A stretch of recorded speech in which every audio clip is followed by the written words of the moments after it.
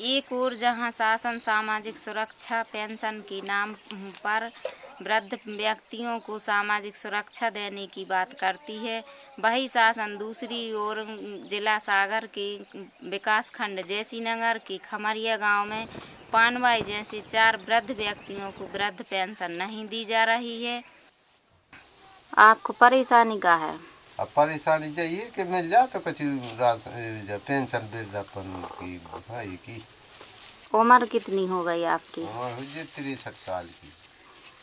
तो आपने एक प्रयास करो कस फार्म आम जमा करी। फार्म दो दास जमा करे आए हम। फिर उते जाके पता करो कि मतलब मिल है पेंशन नाम आ गए कि नहीं आए।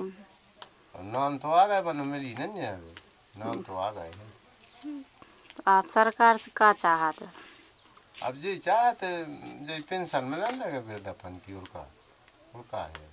मैं वीडियो देखने वाले दर्शकों से अपील करती हूँ कि हमारे यहाँ के मुख्य कार्यपालन अधिकारी अंजना जिनका मोबाइल नंबर निन्यानवे ज़ीरो सात ज़ीरो चार चौंसठ साठ पर फ़ोन करें जिससे इन वृद्ध व्यक्तियों को पेंशन का लाभ मिल सके।